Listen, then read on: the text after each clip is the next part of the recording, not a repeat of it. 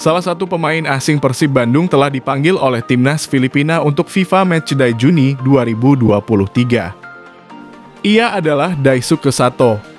Federasi Sepak Bola Filipina PFF telah mengirimkan surat kepada manajemen Persib untuk memberitahukan pemanggilan Daisuke Sato ke timnas Filipina.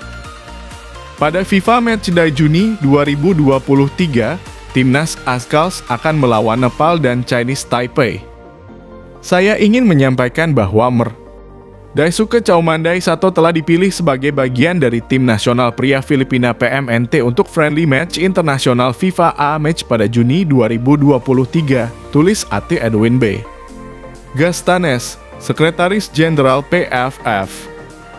Pertandingan antara timnas Filipina dan Nepal akan berlangsung pada 15 Juni 2023, sedangkan pertandingan melawan Chinese Taipei akan dilangsungkan empat hari setelahnya. Kedua pertandingan akan diadakan di Stadion Rizal Memorial, Manila.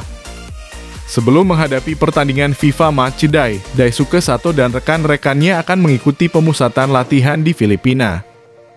Pemusatan latihan tersebut akan dimulai pada 13 Juni 2022.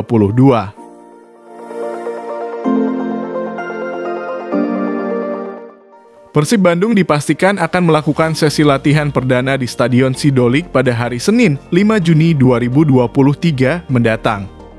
Kabar ini disampaikan langsung oleh salah satu pengelola Stadion Sidolik, Yadi Mulyadi. Sejak beberapa bulan lalu, Persib telah mengajukan permohonan, namun kami belum menerima persetujuan karena terkait dengan Piala Dunia U20. Namun, karena Piala Dunia tersebut tidak terjadi, Persib mengajukan permohonan kembali.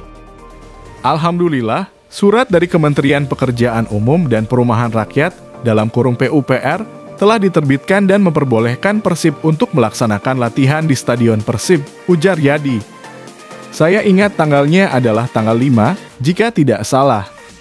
Jadwalnya masih pada pukul 11, tapi saya tidak tahu apakah akan berubah atau tidak.